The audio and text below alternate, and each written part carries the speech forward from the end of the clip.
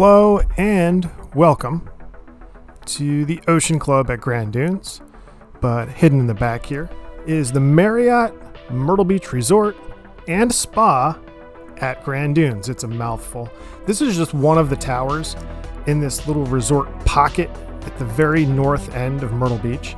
The Ocean Watch Vacation Club is also here, so they've got some timeshare towers. I believe there's four or five of them in total. Lots of rooms, lots of amenities, lots of quiet oceanfront. And I'm going to walk you through everything that has to do with this specific portion, the Myrtle Beach Resort and Spa at Grand Dunes portion. In the lobby, there's a awesome sandcastle. It's real, so don't touch it. Don't fool around with it. Full on, probably six foot tall, and it's by this guy. The lobby is very warm and welcoming. It's airy without being uh, tall, because a lot of lobbies like to put height in there to make it feel open, but this one was good. It was nice, wide, and well lit. The parking garage is around the corner. Just have to take a few left hand turns, and you will arrive here. The parking garage is right next to the convention center hallway portion of the hotel. So after you park, you'll have to walk through that convention center. I find it mildly amusing that every one of these parking spots has a, uh, dent in the wall where people's bumpers have overhung the wheel stops and damaged the wall. I just find that kind of amusing.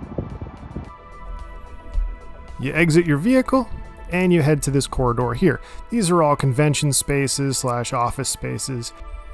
This portion of the hotel is very clean. The color palette's very muted. It's not overdone. It still has some character to it. I really appreciate, uh, again, the cleanliness and the aesthetic that they've applied to this hotel. Even in the hallways, you go down the corridors and there's molding on all the doors, can lights over each door. It's just done very well. Hello and welcome to the Marriott Myrtle Beach at Grand Dunes. We're going to be staying at this, uh, this hotel today. Considered one of the highest rated in Myrtle Beach. Let's uh, see for ourselves. This is the view we start with, which is the better half of the view. Don't look this way because that's just, you know, a roof. But this is a partial ocean view. Not ocean front, but for me, this is good enough. So let's look at this room and uh, give you guys a tour. All right, let's start our tour over there. Okay, let's begin our tour starting at the entrance where you have a nice set of sliding uh, smoked doors here which are just kind of hanging here so be careful about that. They slide open to expose your usual just closet with hangers. Got some robes. You know, nothing too impressive, but it does the job.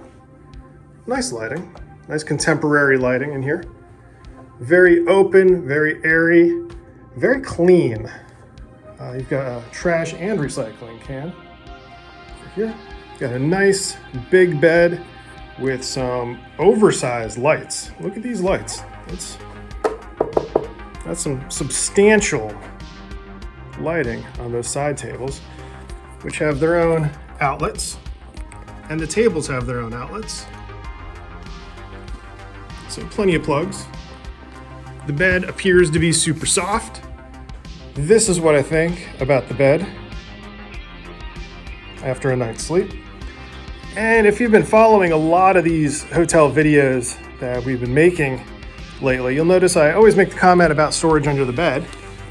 Boom. Oh, this one, I thought there was storage from this angle. It looked like it would be open, but nope, no dice. Carpet seems very clean. Very large headboard. Look at this full-size mirror right here in the front. Appreciate that. Large TV, lots of drawers. Got uh, safe, definitely big enough for a laptop. Nice cold fridge. Already put some waters in there for today. Plenty of drawers. Secondary trash can. Got our coffee with some. What brand coffee is this? Pure Elevation. Okay. Some tea, the usuals. This hotel does have pickup or delivery straight to your room, a little bit of room service. There is a full bar and restaurant downstairs. So I assume this comes out of that kitchen. Again, a very nice chair and table. The furniture in here seems modern, seems updated. Another oversized mirror.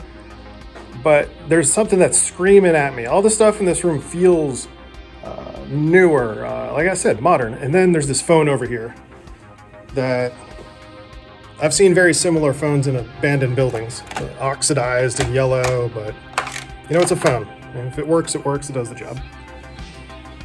Oop, what we got down here? Our ice bucket and cups sitting down there. Coming back over here to the bed, to the side, we have a nice table and chair. I believe this chair does open up. No, it does not. I thought it was an extra bed. It's just a chair. It's okay, chair. We won't hold that against you. Got some very interesting art here. Looks like a, a shell, kind of deconstructed. I'm digging it.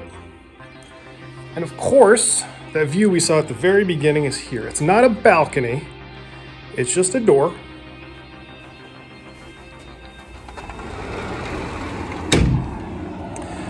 Looks down into a patio space. I believe the restaurant is down there. The bar would be over here under us. Several pools and hot tubs. And of course, the ocean. Now, where we're located, as I look this way, I'm looking south into the city of Myrtle. The edge of the city limits is just behind me at Singleton Swash. So we're kind of at almost at the furthest northern limit of the city of Myrtle. If we look this way, as I mentioned earlier, not the greatest view this way, but that is kind of the Grand Dunes area. There's the 82nd Avenue Publix in the distance. Moving into the bathroom, we have a very spacious bathroom here. Plenty of towels, very large mirror, and if you're interested, even get a robe. Look at that. Marriott robe. And I will say this looks pretty darn clean, if I were to say so, and I am. Behind this door is the shower. Let's see what kind of shower we got going on here. Very big, very nice. Single shower head.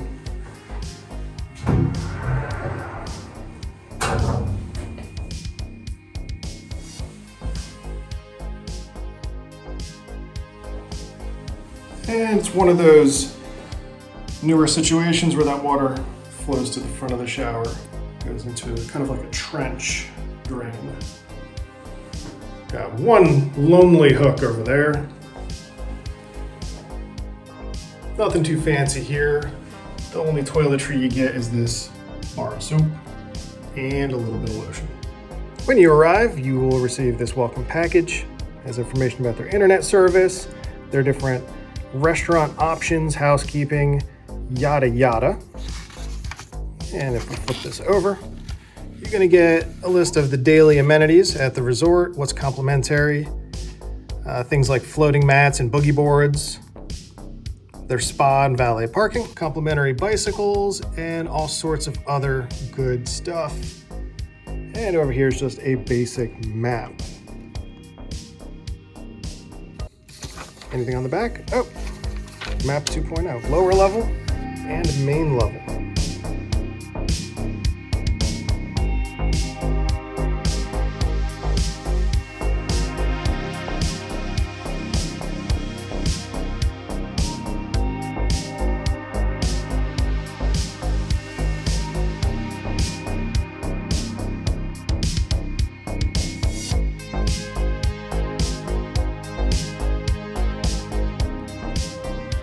Now that we've done a lap around this room, let's head downstairs and we'll show you some of the amenities that uh, Marriott's offering here at this specific resort.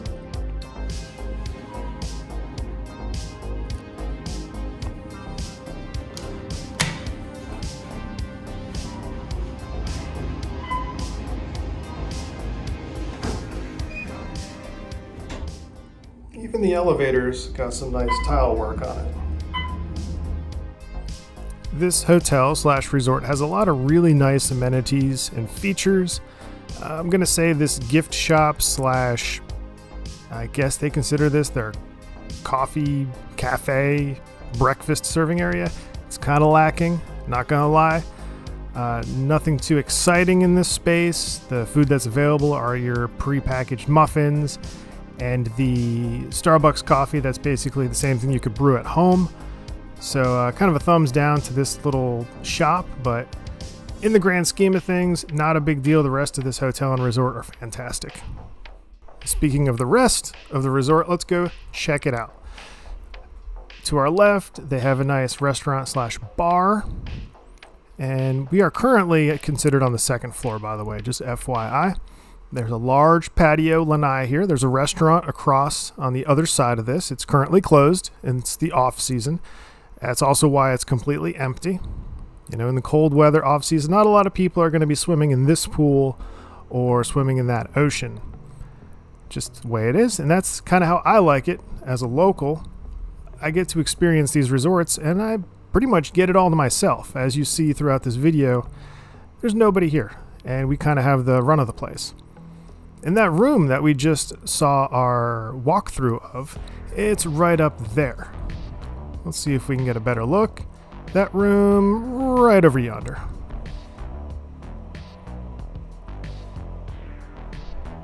And that's us down there. Can you see us?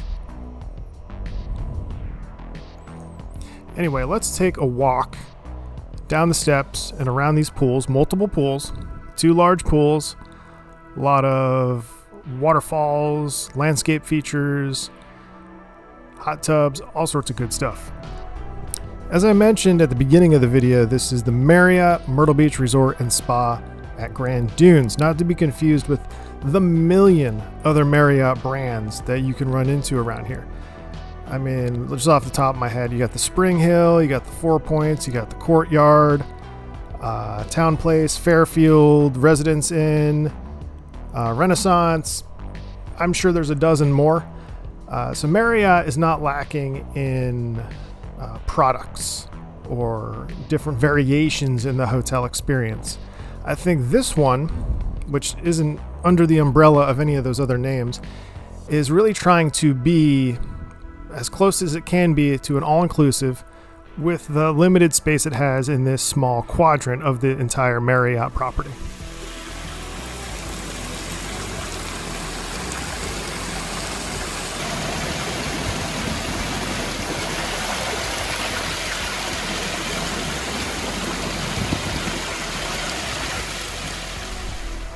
A few moments ago, we passed by the poolside bar and quick service, which is closed at the moment. Again, this time of year, it's cold. No one's going to be using the pool. This is an afternoon on a weekend, and you can see nobody's out here. But they do have some pretty sweet loungers. I'd like to have one of these uh, back at home, reserved for me. Over here, they also have a pretty sweet hot tub. We will be revisiting this later tonight. That's warm. That is that is nice and warm. got They have a pretty nice slide off to the side of the pool area, and I appreciate that the top of the slide is surrounded by vegetation, trees, whatnot. Uh, it gives it a nice feel that you go up into the middle of the canopy and you come out at the bottom.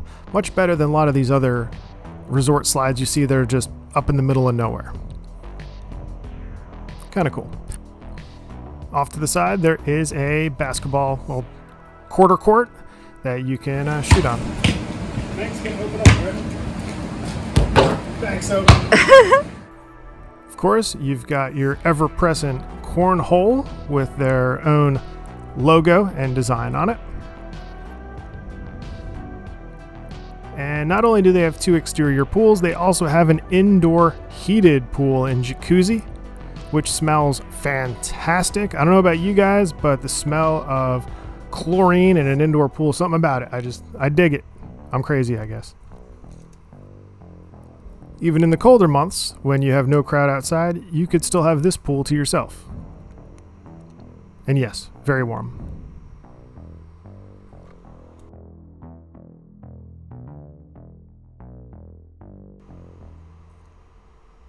Lots of water, a lot of bodies of water to choose from. We got two exterior pools, you got a hot tub, you got a slide, you got an indoor pool, indoor jacuzzi. But there's also the ocean, so we're going to make our way over there in a moment. But first, let's check out these hammocks that are in a zone reserved for adults only. Well, 16 or older, according to the sign anyway. They are not Pawleys Island hammocks though, so negative one point to you, Marriott, for not hooking up with the local guys right down the street and putting arguably the best hammocks on the East Coast in your resort. Very sweeping view we have there. Uh, directly next to the hammock field is your beach access.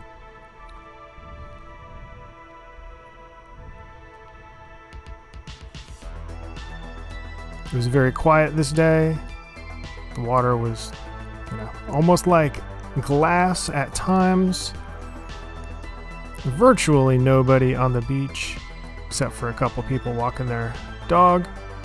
Very quiet. If you're not the type of person that needs to swim in the ocean, then why not come this time of year, bundle up, and just, you know, chill on the beach and enjoy the view? You're not going to be warm, but you will have this amazing scenery all to yourself. You can rinse yourself off with the shower head. You can rinse your feet off with these two, and then you rinse your shoes off or in the little bucket. Sand or sand toys. Very cool. This is the exterior seating portion of the poolside Ocean Blue Cafe, again closed due to the off season. This is just a peek into the bar slash restaurant. Not uh, amazing selection at this bar. It's mostly uh, pre-selected cocktails, but it's still nice.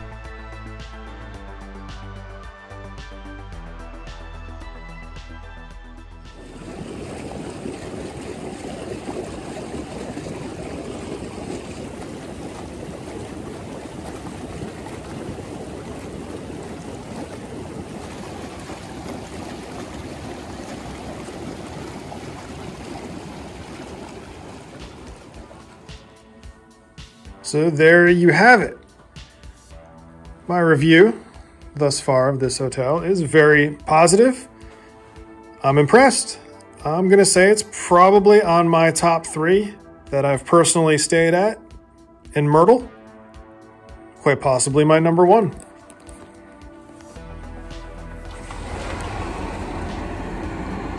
a little noisy out there right now. All right, everybody. Until next time, take it easy.